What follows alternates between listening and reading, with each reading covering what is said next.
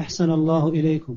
يقول السائل هل يجوز لي مباشرة زوجتي بعد التحلل من العمرة وذلك بغرض التبرك بالأرض المباركة أثناء الإقامة في السكن؟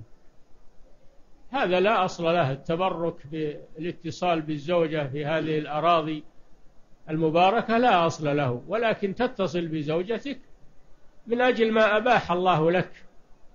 ولها ومن أجل الإعفاف طلب الذرية.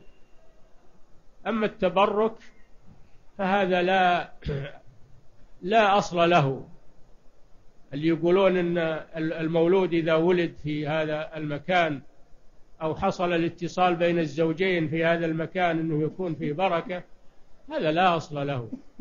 البركة بالأعمال الصالحة والطاعات والحج والعمرة والصلوات و أما الأمور المباحة والأمور العادية والأكل والشرب والجماع هذه أمور تزاول في أي مكان وليس لبعض الأمكنة فضل على غيرها في هذه الأمور المباحة.